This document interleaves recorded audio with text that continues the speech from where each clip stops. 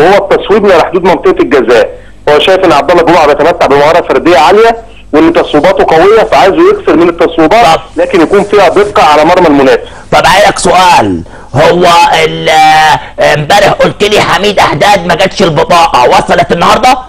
آه البطاقة وصلت النهارده وكده مبروك. اللعيب جاهز للمشاركة آه، مع الزمالك في المواجهات في المواجهات الرسمية.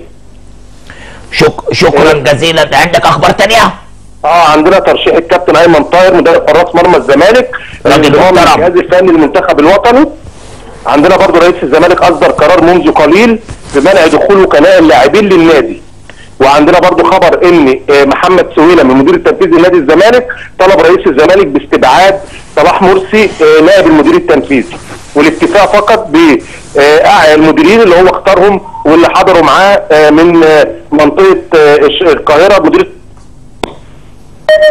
شكرا جزيلا على حمام واللي حضروا معاه من المديريه لأنه محمد سويلم كان جاب بعض الناس ورشحهم للعمل معاه شكرا جزيلا. أستاذ علاء حمام طيب آه، لكورة بلدنا تفضل السيد المحترم.